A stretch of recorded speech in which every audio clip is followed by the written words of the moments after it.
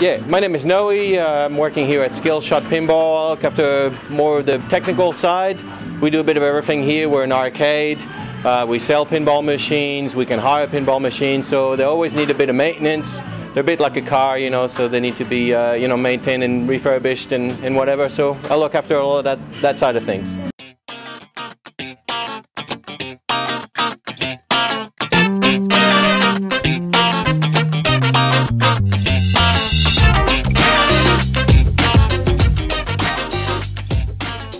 Uh, probably only about 18 months or so. Um, I used to play them when I was younger, um, but I guess uh, Steve and I uh, got interested in, in them recently, and um, I guess I lean more towards the, the technical side of things, so, uh, so, so I decided doing that. But uh, yes, basically about 18 months.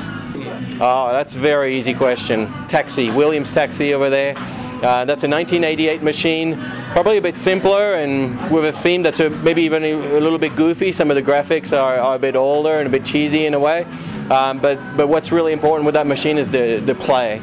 Uh, the flow of the machine, they call it. Um, the way it plays is fantastic. The ramps are just in the right angles, and uh, it's one of those machines that's very rewarding once you get to a higher level of it.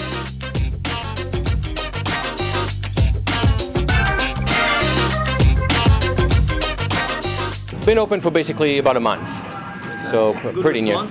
So far, so good. And uh, what I like about what we're seeing is a lot of different, uh, different kinds of people, different age range, uh, male, female, kids. Um, it's fantastic. Everybody seems to find something they like in a in a game of pinball.